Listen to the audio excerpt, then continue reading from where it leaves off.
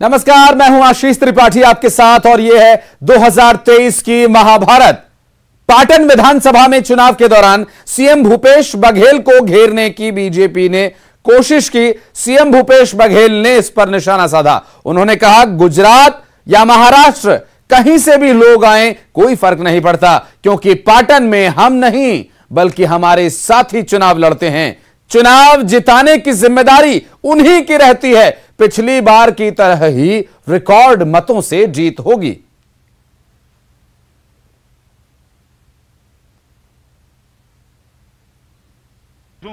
देखिए, पिछले विधानसभा में भी जब मैं प्रदेशाध्यक्ष के रूप में जब चुनाव लड़ा तो वहाँ साथियों से मैंने कहा कि विधायक तो मैंने एक बार बना, लेकिन प्रदेशाध्यक्ष की ज़िम्मेदारी मुझे पार्टी ने दी है, राहुल जी ने दी है। और चूँकि मुझे पूरे प्रदेश में मुझे भ्रमण करना है तो जैसे पहले चुनाव प्रचार करता था, वैसे नहीं कर पाऊँगा। तो वहाँ पाटन के कार्यकर्ताओं ने कहा, ये लड़ाई हमारी है, आप केवल नामांकन भरिए और चुनाव हम लड़ लेंगे।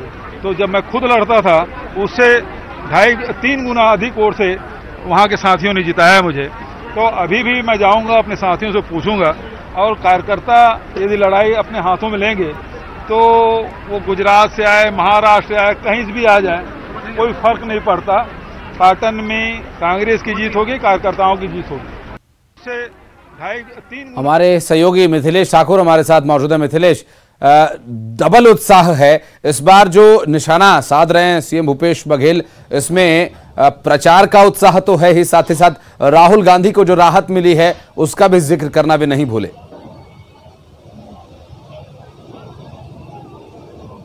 बिल्कुल, आज मुख्यमंत्री भूपेश बघेल भिलाई में युवाओं से भेंट मुलाकात किए उसी दौरान उनको ये मालूम चला कि राहुल गांधी को एक बड़ी राहत मिली है सुप्रीम कोर्ट से। तो उन्होंने साफ़ तौर पर कहा कि ये न्याय की जीत है। न्याय जो जो व्यक्ति जो होता है वो थोड़ा परेशान ज़रूर हो सकता है, लेकिन जो जो सही राह में चलता है वो कभी धोखा नहीं खाता, उसको न्याय ज़रूर मिलता है और आज उनको न्याय की जीत हुई है। सुप्रीम कोर्ट से राहत मिला है। इसी तरह से उन्होंने ये भी कहा कि आज जब जिस तरह से बीजेपी के लोग कहते हैं कि गुजरात से महाराष्ट्र से यहाँ पर नेतागण आएँगे और पाटन में लोग यहाँ पर विधानसभा चुनाव के लिए आएँगे और वे ही यहाँ पर पूरे चुनाव की कमान संभालेंगे। तो उन्होंने स्पष्ट कहा कि जब वे खुद चुनाव लड़ते थे, तब वो उतना नहीं जीते। जब कार्यकर्ता पिछले बार जब वो अपने हाथों में कमा लिए थे, जब वे प्रदेश अध्यक्ष थे, उनके कांधों में बड़ी ज़िम्मेदारी थी, प्रदेश के कोने कोने तक पहुँचना पहुँचना होता था। ऐसे में कार्यकर्ताओं ने कहा था कि आप अपना काम कीजिए, यहाँ पर हम चुनाव लड़े। उन्होंने दमखम के साथ चुनाव लड़ा और तीन गुना जो अधिक मतों से जिताया आया था। इस बार भी विधानसभा के चुनाव नज़दीक है,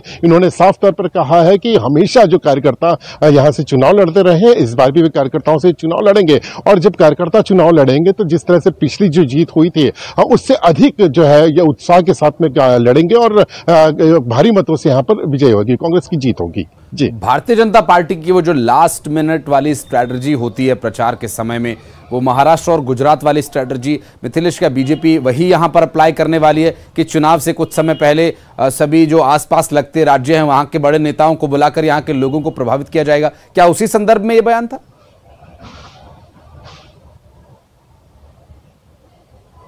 निश्चित रूप से अब इसके पहले भी देखा गया था कि बीजेपी जो है काफ़ी सेंसिटिव है छत्तीसगढ़ को लेकर खासतौर पर। हम्म। वैसे अन्य राज्यों में भी यहाँ पर चुनाव होने के हैं लेकिन छत्तीसगढ़ उनका केंद्र बिंदु है। छत्तीसगढ़ में देखे जिस तरह से देखा गया कि पूर्व में भी अमित शाह का दो तीन बार दौरा हो चुका है बाकी बड़े नेताओं का भी यहाँ आने जाने का सिलसिला जारी है। तो ये अंदाज़ा लगाया जा सकता है कि ये छत्तीसगढ़ को लेकर उनकी किस तरह से स्ट्रेटेजी है क्यों वो छत्तीसगढ़ को केंद्र बिंदु रख के चल रहे हैं? इनका ये मानना है कि छत्तीसगढ़ को जीत लिया मतलब बहुत बड़ी ताकत जो है, काफ़ी जो है कांग्रेस को आघात पहुंचेगा। यही वजह है कि बीजेपी को केंद्र बिंदु रखकर बीजेपी चुनाव लड़ रही है। और जिस तरह से नेताओं के आने जाने का जो सिलसिला जारी है, हो सकता है आने वाले जो सभा में जब चुनाव की तिथि नज़दीक होगी ऐसे में बड़े नेताओं का यहाँ आना जाना हो, वे पूरी तरह से कांग्रेस को घेरने का प्रयास करेंगे। लेकिन भूपेश बघेल ने पहले ही स्पष्ट कर दिया है कि वे खुद चुनाव नहीं लड़ते, बल्कि उनका कार्यकर्ता चुनाव लड़ता है। तो कोई भी नेता आ जाए, कोई भी बड़ा नेता आ जाए उनके उत्साह को कम नहीं कर सकता है। और उनके उत्साह दुगना रहेगा और इस बार भी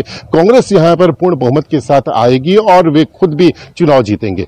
बिल्कुल चूँकि मिथिलेश स्वाभाविक हो जाता है ऐसे समय में, छत्तीसगढ़ को लेकर के भारतीय जनता पार्टी इतनी ज़्यादा ललायत या इतने ज़्यादा ज़ोर क्यों लगा रही है? इस बात से आप इसका अंदाज़ा लगा सकते हैं कि जब पूरे देश में कथित जो सुनामी चल रही थी भारतीय जनता पार्टी की, उस सुनामी में, उस तूफ़ान में, उस लहर में भी छत्तीसगढ़ को कांग्रेस अपने कब्जे में लेने में कामयाब रही। उस दौर में जब खुद भारतीय जनता पार्टी की यहाँ पर बीते पंद्रह सालों से सरकार रही थी और ऐसे में कांग्रेस के लिए ये छत्तीसगढ़ वाकई में गढ़ साबित हुआ और ये स्थिति कांग्रेस पार्टी एक बार फिर से दोहराने का प्रयास करेगी कि एक बार फिर से चुनाव जीतकर यहाँ सरकार बनाई जाए और भूपेश बघेल का नेतृत्व यहाँ छत्तीसगढ़ कांग्रेस के लिए महत्वपूर्ण साबित होगा। बहुत शुक्रिया आपका इस पूरे मामले पर जानकारी देने के लिए मिथिलेश।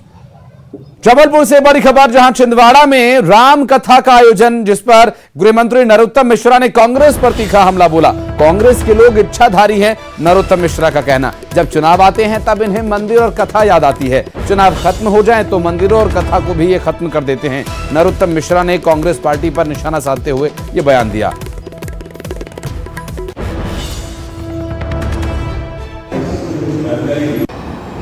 कांग्रेस ऐसी पार्टी है कि वो इस तरह के विषय ढूंढती रहती है। टीवी और ट्विटर तक पे ही कांग्रेस ज़िंदा है। नीचे तो आपको कहीं कोई जन आंदोलन करती मिलेगी नहीं। और इसलिए ऐसे विवादास्पद विषय जिन पर विभाजन की रेखा खींचती हो कांग्रेस की राजनीति सिर्फ़ जातियों में बांटने तक ही रह गई। जो विधायक के पुत्र ने उस पर कुछ उस पर तो कार्रवाई हो गई है।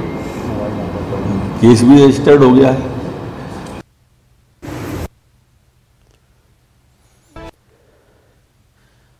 और विदिशा में कैलाश विजयवर्गीय का एक वीडियो वायरल हुआ। पूर्व मंत्री लक्ष्मीकांत शर्मा के विषय को लेकर दिया गया बयान, जिसमें व्यापम मामले में आरोपी रहे पूर्व मंत्री लक्ष्मीकांत शर्मा को कैलाश विजयवर्गीय ने निर्दोष बताया। जब भी लक्ष्मीकांत का ज़िक्र आता है, मन भराता है। लक्ष्मीकांत सीधे सीधे निर्दोष व्यक्ति थे, कैलाश विजयवर्गीय ने कहा। कभी कभी हाथ की लकीरों में ऐसा योग होता है कि निर्दोष शख्स को भी जेल जाना पड़ता है। फिर कोर्ट से बरी भी हो जाते हैं, मगर लक्ष्मीकांत शर्मा ने जो कुछ झेला, उनकी पीड़ा मेरे मन में सदा रहेगी। सिरोंज में कार्यकर्ता सम्मेलन को संबोधित करते हुए लक्ष्मीकांत शर्मा को उन्होंने याद किया। लक्ष्मीकांत जी विधायक थे, मंत्री थे।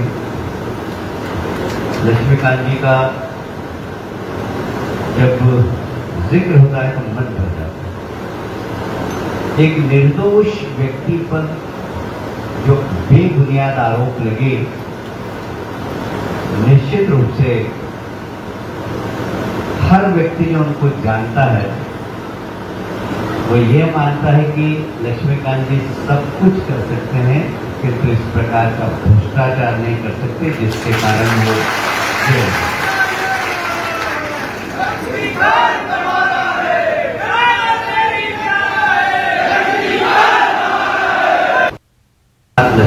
में। लक्ष्मीकांत जी विधायक थे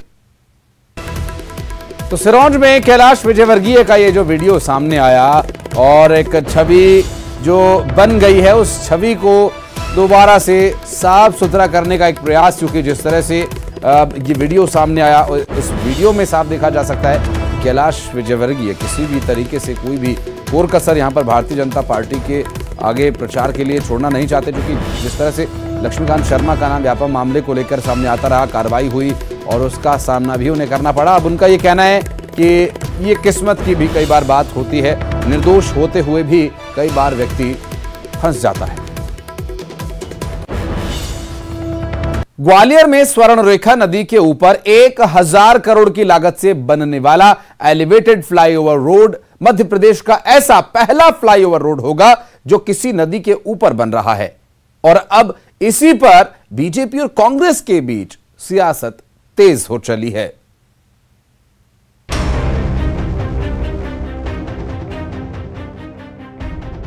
एक हज़ार करोड़ रुपए की लागत वाले एलिवेटेड फ्लाईओवर रोड के सहारे बीजेपी ग्वालियर शहर की तीन विधानसभा सीटों पर जीत की आस लगाए बैठी है। अभी शहर की तीन में से महज एक सीट पर बीजेपी का कब्जा है, जबकि दो सीटों पर कांग्रेस के एमएलए काबिज हैं। एमपी में पहली बार किसी नदी के ऊपर 16 किलोमीटर लंबा four lane flyover elevated road बन रहा है। और कहा यह जा रहा है कि एक हज़ार करोड़ की लागत से बन रहे एलिवेटेड रोड से ग्वालियर शहर की आठ लाख से ज़्यादा आबादी को ट्रैफ़िक जाम से निजात मिलेगी। यही वजह है कि बीजेपी एलिवेटेड रोड को 2023 के विधानसभा चुनाव में जीत के लिए मास्टर स्ट्रोक मान रही है। एक बहुत ही अभिनव ये प्रयोग ग्वालियर होने जा रहा है कि किसी नदी पर मध्य प्रदेश में पहली बार 16 किलोमीटर लंबा एलिवेटेड रोड बन रहा है। इसके बनने से ग्वालियर की तकदीर और तस्वीर दोनों बदलेगी। लगभग पिचासी परसेंट जो हमारा ट्रैफ़िक है, जो आए दिन हम शहर में जाम की स्थिति का सामना करते हैं, ट्रैफ़िक की व्यवस्था बहुत गड़बड़ हो जाती है। उस ट्रैफ़िक की व्यवस्था से पिचासी परसेंट राहत ग्वालियर की जनता को मिलने वाली है। इतना बड़ा रोड, इस तरीके का रोड ग्वालियर पहली बार बन रहा है और मध्य प्रदेश में पहली बार बन रहा है। निश्चित तौर पर ये एक मील का पत्थर साबित होगा। ग्वालियर के विकास में, ग्वालियर के सौंदर्य में ग्वालियर की ट्रैफ़िक व्यवस्था को एक नायाब सौगात मिलने जा रही है। वहीं कांग्रेस ने बीजेपी की अदाओं पर चुटकी ली है। कांग्रेस का कहना है कि ग्वालियर शहर में फ्लाईओवर, एलिवेटेड रोड, सिर्फ़ हवाई मिसाइल है।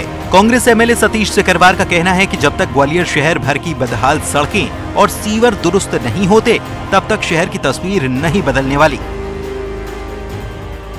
न तो तस्वीर बदलेगी, न तकदीर बदलेगी। आने वाले 2023 में माननीय कमलनाथ जी जब मुख्यमंत्री बनेंगे तो तकदीर, तस्वीर बदलने का काम कांग्रेस पार्टी करेगी। भारतीय जनता पार्टी झूठे लोग लोहाने वादे करके जनता को ठगने का और जनता की आँखों में धूल झोंकने का काम कर रही है। एलिवेटेड रोड से अगर जनता को लाभ मिलता तो फिर नीचे की सड़कें बनती क्यों? ऊपर हवाई हवा में चलते रहते। ये हवा की सरकार नहीं चलेगी, ज़मीन की सरकार चलेगी। ग्वालियर शहर की तीन विधानसभा सीटों में से सिर्फ़ ग्वालियर सीट पर बीजेपी के प्रद्युम्न सिंह तोमर एमएलए हैं, जबकि ग्वालियर पूर्व विधानसभा सीट से कांग्रेस के सतीश सिकरवार और ग्वालियर दक्षिण विधानसभा सीट से कांग्रेस के प्रवीण पाठक एमएलए हैं।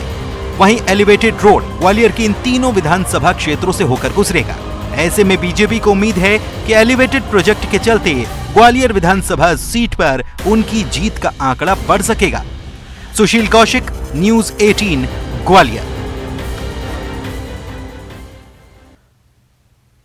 और एक छोटा सा ब्रेक यहाँ ले रहे हैं जल्द लौटते हैं।